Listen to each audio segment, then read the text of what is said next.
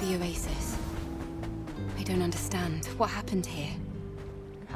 The person Beatrice is looking for must be somewhere nearby. Adam, over there. I see someone.